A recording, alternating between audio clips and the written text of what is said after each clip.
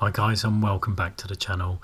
If you like the content of the videos please like and subscribe to the channel. It does mean a lot. Uh, it enables me to do more videos, uh, encourages me to um, buy more stock uh, and it is appreciated.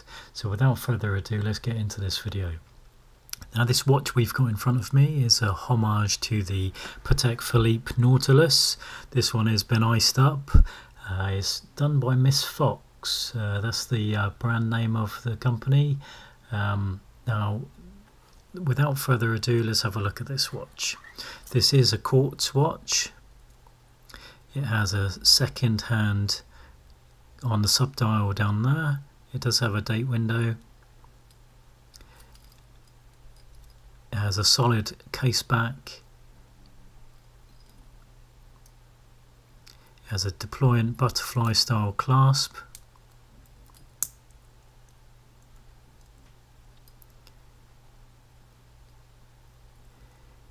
Is water resistant to 3 bar which uh, to me would indicate to um, steer clear from water maybe a little bit of hand washing but nothing more really than that. Yeah now the crystal is a hardlex crystal. The case diameter is roughly 42 millimeter. Now that's from uh, the complete sides, not including the crown, the complete sides of the case. To give it some sort of comparison, I have here my other um, Patek Nautilus uh, by Didun Design, just to compare the sizes.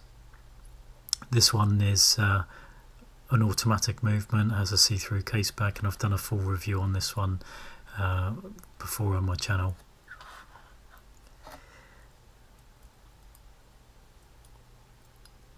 So this one doesn't feel as if it's got the same sort of quality as the uh, other one I've just uh, showed you. However, it is half the price, it is quartz, and this one has the iced look to it.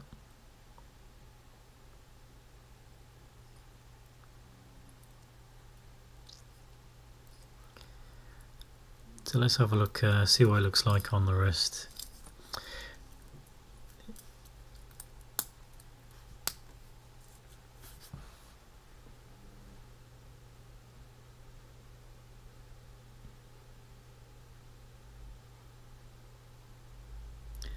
Adjustments made to the bracelet are by um, split pins. Push you push the rod through one of the split pins to pop them out and adjust it like that.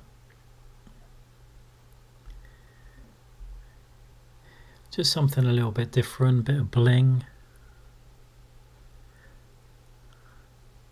I'll put a link to the watch in the comments below, in the description below rather.